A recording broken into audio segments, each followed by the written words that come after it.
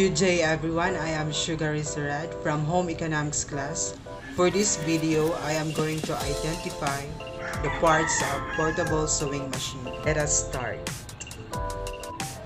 So these are the accessories of portable sewing machine.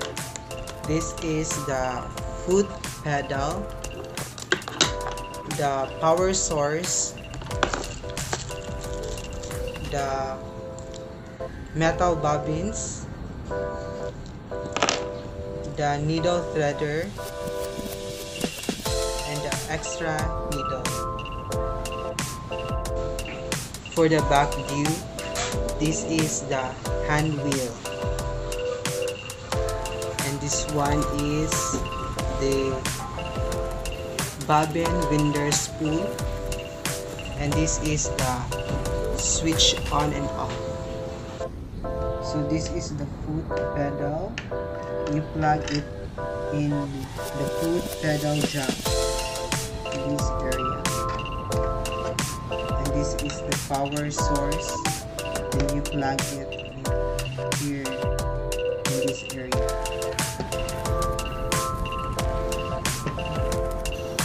For the front view this is the speed button this is the bobbin holder, the bobbin spindle, the thread spool, the thread spindle, the take up lever, the tension screw.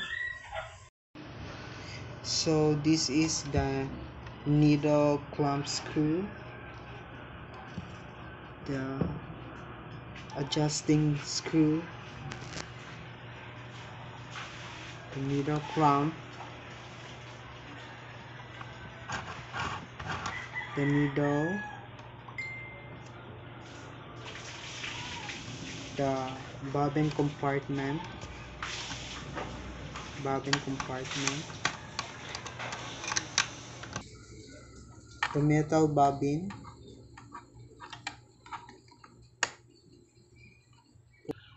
Head gap the battery compartment.